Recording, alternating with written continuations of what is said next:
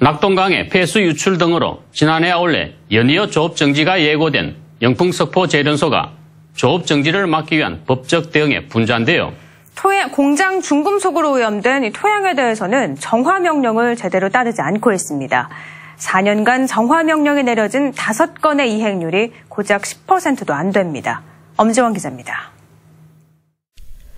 2015년부터 봉화군이 영풍 석포재련소에 내린 토양 정화 명령은 모두 5건입니다. 공장 부지와 인근 초중학교를 포함한 주변 마을로 정화 대상 면적은 64만 2천 제곱미터, 축구장 90개와 맞먹는 규모입니다. 공장 주변 하천 부지와 사원 주택 부지에 대한 토양 정화 명령은 안동 MBC 취재로 새롭게 확인됐습니다. 하지만 정화 이행률은 10%도 채 안 됩니다. 토양 정화 대상 부지의 87%는 재련소 주변 마을입니다. 석포 초중학교 운동장은 오염토사를 외부로 반출해 정화하는 작업이 7개월 만에 겨우 시작됐고 나머지 주변 마을의 토양은 오염 상태 그대로입니다. 정화 계획서조차 아직 제출하지 않았습니다. 영풍은 정화 명령 처분도 행정 소송을 통해 내년 3월부터 내후년 4월까지 기한을 미뤄둔 상태입니다.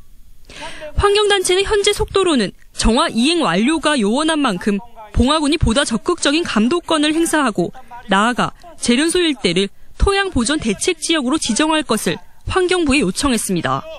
어, 환경부 장관의 어, 어, 토양 보존 대책 지역 지정 같은 권한을 적극적으로 검토해서 종합적인 대책이 나오도록 어, 중앙 정부도 어, 나서야 될 걸로 생각을 합니다. 중금속과 기름 등 토양 오염 물질에 의해 토양과 지하수 등이 복합적으로 오염돼 인체에 피해가 우려되고 환경상 위해가 있는 지역은 환경부 장관이 관할 군수 도지사와 협의해 토양 보전 대책 지역으로 지정할 수 있습니다. 대책 지역으로 지정되면 토양 오염 정화와 활용 사업, 그리고 주민 건강 피해 조사와 대책 마련 등 피해 주민에 대한 지원도 받을 수 있게 됩니다.